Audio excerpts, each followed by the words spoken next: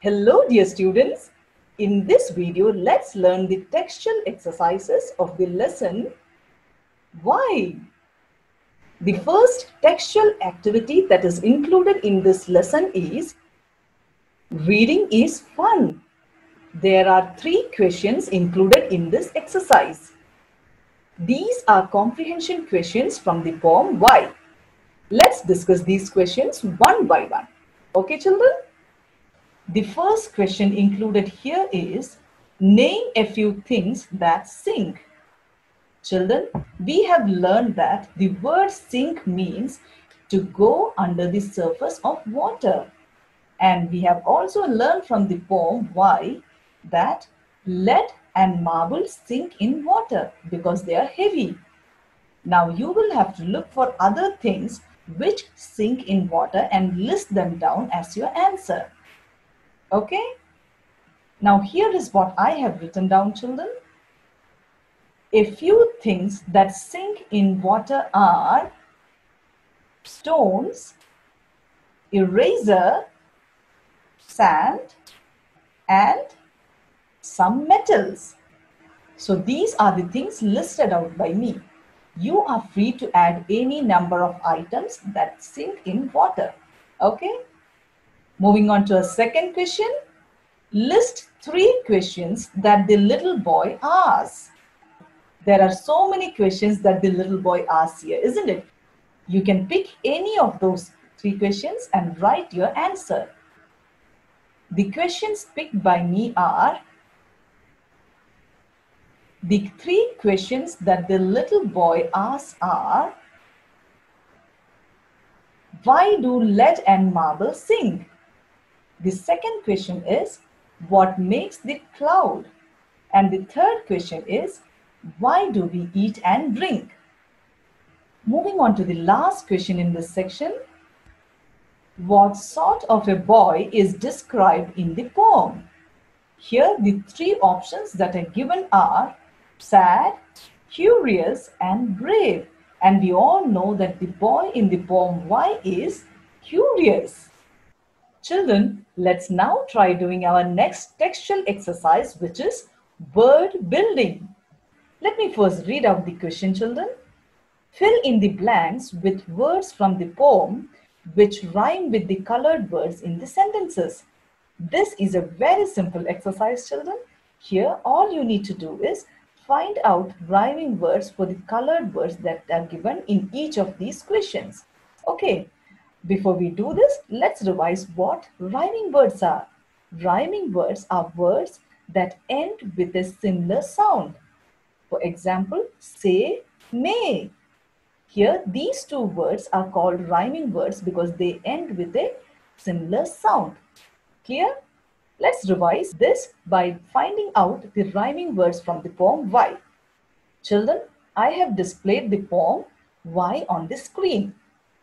In the first stanza, the rhyming words are why and by or by the by.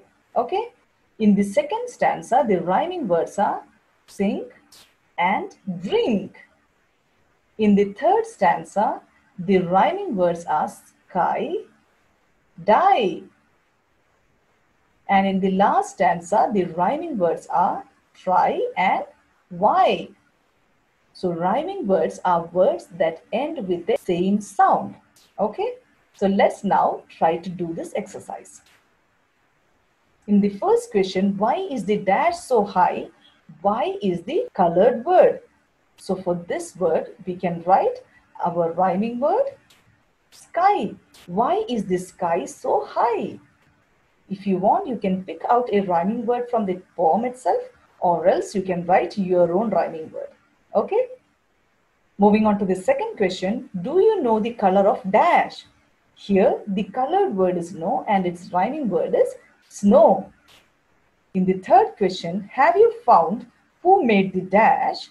Here, the colored word or the highlighted word is found and for its rhyming word, we can write sound. Have you found who made this sound?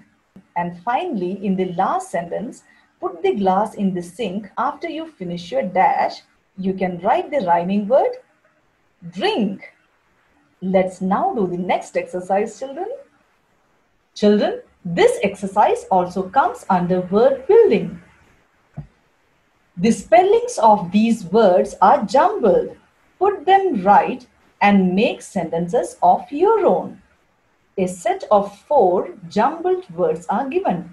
You will have to unscramble it or correct the spelling and write them down in the space that is provided here. Okay? The first word is already done and it is no. Now what could be the second word children? Very good. It is swim. And the third word, it is lead. Fourth word is marble. And the last word is very good, hills. Here you have written down the words with their correct spelling, isn't it? Now all you need to do is use these words and frame sentences. Children, this is going to be your home assignment. As soon as you complete your assignment, don't forget to post it to your English teacher's WhatsApp number. Okay? Our next textual exercise is Let's Write. In this section, we have got three questions. Let's discuss them one by one, children. The first question is, why do cats and dogs fight? We all know that cats and dogs are big enemies, isn't it? They mostly fight over food. And because dogs are bigger than cats, they try to dominate and try to chase them away. Isn't it, children? Yes. So we can write our answer. Cats and dogs fight over food. As dogs are bigger than cats, they try to chase cats away. Our second question here is, why do we walk across the road, not run? Children, this is a serious question. If you run across the road, there is every chance of you getting hit by a speeding vehicle. So it is not at all advisable for you to run on the road. Instead, you must wait and look for vehicles on both the sides and then walk across the road. Okay? This is for your own safety. Okay? So we can write down the answer.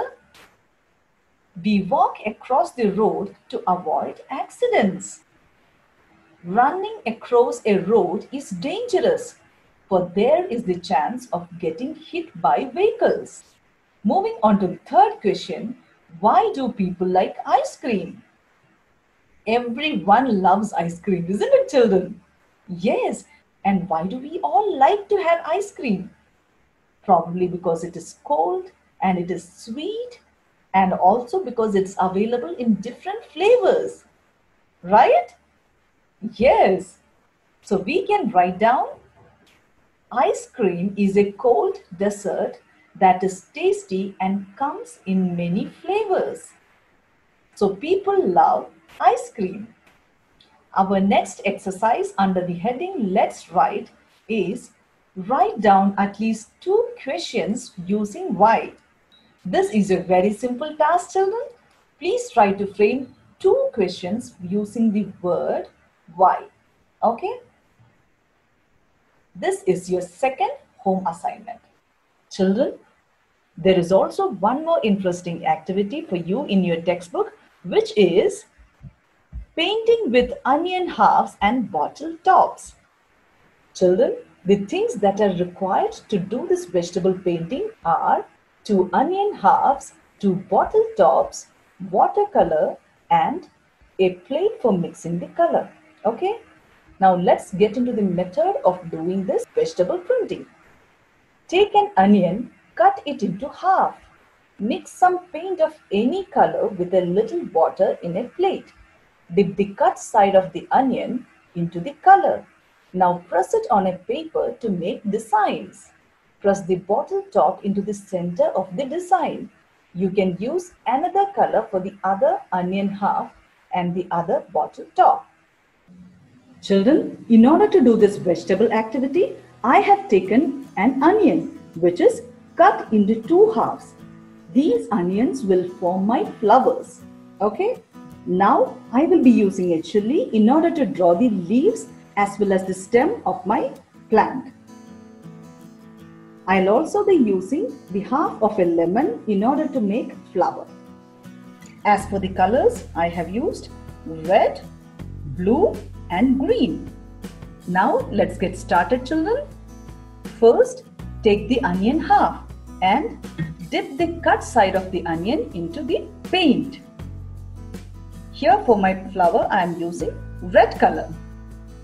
Now I am going to press this onion onto the white sheet which I have got here.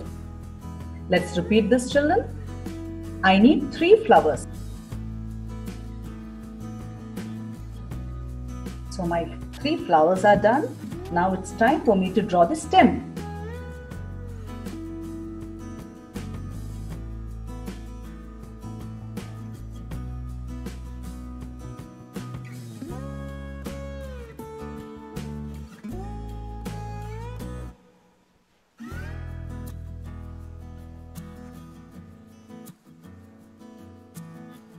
Here goes the leaves.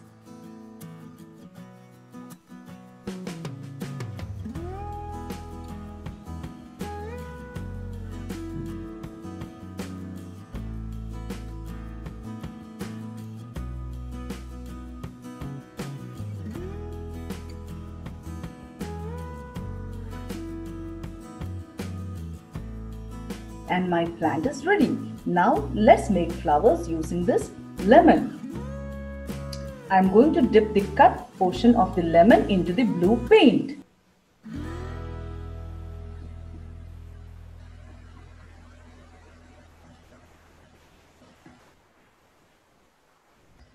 Let's repeat it.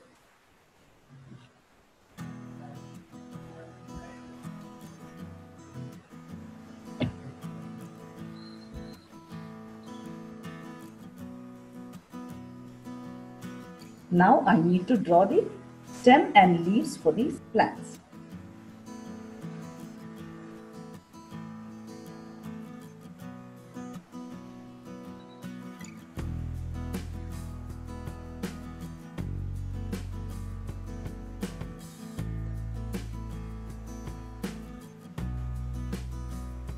Children, here is my vegetable painting.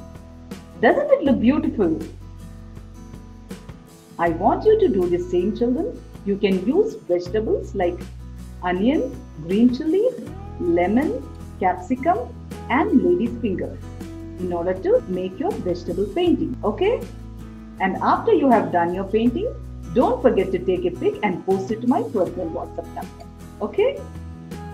Children, for some more ideas on vegetable painting, you can go through these pictures. The two pictures on the screen are painted using lady's finger. Here in the first picture, you have got a painting which is done using onions. And in the second one, lady's finger is used in order to make these prints. The butterflies in this first picture were made using potatoes. And in this picture, lady's finger is used. Okay? So please try to do it children. Now in page number 65, you have got a poem to read and enjoy. The title of the poem is The Man in an Onion Bed. The poem is written by John Ciardi. Let us read the poem, children. I met a man in an onion bed. He was crying so hard his eyes were red, and the tears rolled off the end of his nose as he ate his way down the onion rows. He ate and he cried, but for all his tears, he sang, Sweet onions, oh my dears, I love you, I do, and you love me, but you make me as sad as a man can be. So this poem titled, The Man in an Onion Bed is about a man who is sitting on an onion bed and he is eating onions. What do onions do, children? They make us cry. So here the man loves onions, but then they sure make him cry. So he says that, Dear onions, I love you, but you sure make me sad. So with this children, we have completed the textual exercises of the lesson. Why? I hope you enjoyed this video. Thank you and have a wonderful day.